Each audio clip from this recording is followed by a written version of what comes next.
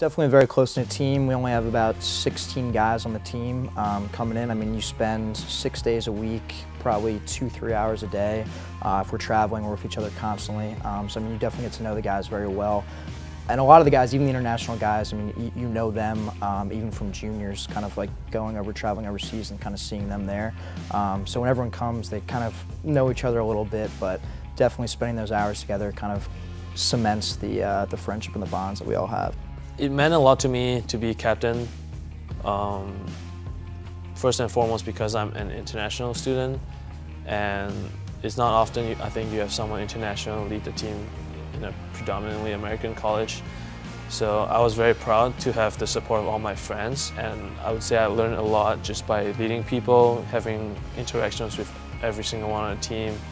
It really has given me a lot of experience and exposure and so I'm really thankful to have been voted captain. It was an honor and a privilege um, to be captain of this team. I mean, uh, it's obviously a role that's uh, elected by the other teammates. Um, so it's kind of they're putting a degree of trust and faith in you um, to kind of act as the intermediary between the uh, coaches uh, and the team. So, I mean, being selected for that was uh, definitely an honor, and I'm really happy that I had the opportunity to be the captain.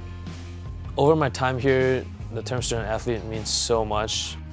I'm proud of the fact that I'm a student athlete. I'm proud of the fact that I've been able to handle both the academics and, and squash. It's, it's a lot of time commitment that kids just on the other side of the river don't really understand, just in terms of being here every day. So I think that it, it teaches us a lot of time management, discipline. I would probably say the national championship match um, at Harvard this year here for me was probably the highlight. We were at Harvard my freshman year, but I was hurt due to injury. So being able to play out here in front of the home crowd and have everyone kind of cheering for me it was awesome, a great experience. At times it is not easy. You, you come here every day playing squash, um, and a lot of times after squash you have to go back for dinner and then you start working your, your assignments and stuff. So at times it gets really tough, especially when you go on away trips, on the road trips.